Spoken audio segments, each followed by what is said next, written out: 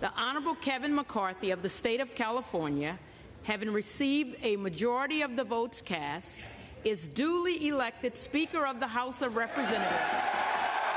After four days and nights and a lot of drama, including tempers flaring on the floor tonight, the House has finally elected a Speaker tonight. That vote wrapped up within the last hour. It took 15 ballots and a lot of deals and compromises before Bakersfield Republican Kevin McCarthy secured a majority. CBS 8's Anna Laurel, you've been watching the votes all night and you have the results for us and more, Anna. Yeah, this is really wild. I mean, at 7.30, we thought this thing was wrapped up. He lost. It wasn't going to happen. They were going to adjourn. We'll come back Monday. We'll start it all again. About an hour later, we heard, no, no, no. I actually got a FaceTime call from somebody in our story. He's there tonight. Called me. They were running in. They've called us back in. They called it back in, and now he's Speaker of the House. Watch what happened. Here at the Capitol, getting ready to go in for a historic, a historic vote for Speaker.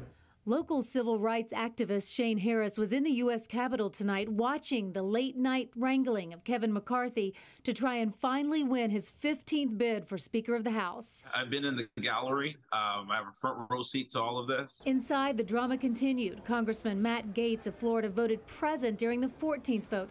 That meant McCarthy fell short of the speakership. McCarthy walked over, spoke directly to Gaetz.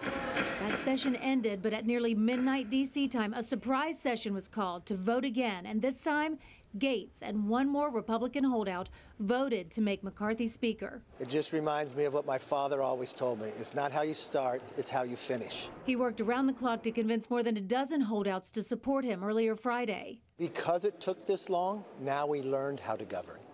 So now we'll be able to get the job done. To win votes, he struck a deal that includes broad changes on spending, greater conservative representation on House panels, and a provision that allows any one member to call for a motion to remove the Speaker.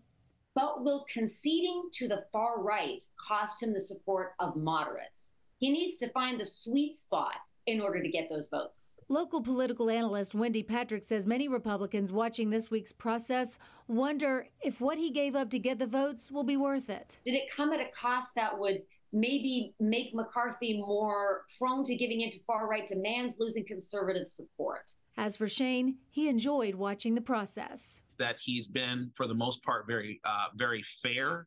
Um, respectful, I think, and has carried out, um, you know, sort of a patriotism in the approach that he's taken to this.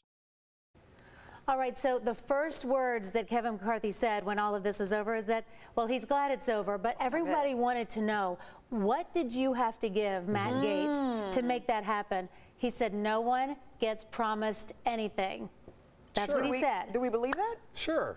We'll okay. have to see that moving forward. I mean, you guys, you saw that video. That was pretty intense. Mm. Little, little, note passing in class. Something so happened. That was all about. Thank you. Thank you for saying it. I was like, I don't believe that. Something happened. Call it. He says no, no, one gets promised anything. So we'll have to see how, how things shake out mm -hmm. moving forward. All right, and now the uh, 108th in Congress, 18th Congress can do some business. They couldn't do anything. No. Exactly. Including being sworn in. Yeah. This was history in the making. A lot of drama, but history in the making. But they're doing late night, it's after midnight, and they're yeah. getting sworn in now all these families, little babies in there, tired, exhausted, on the floor, but they're getting sworn in. All the all the new freshmen too, a big moment in their lives. Yeah, a lot of relief. Yeah, really. A lot yeah. of people relieved. Thank yeah. you so much Thank for you that. Show's over, folks. You can all go home. Thanks.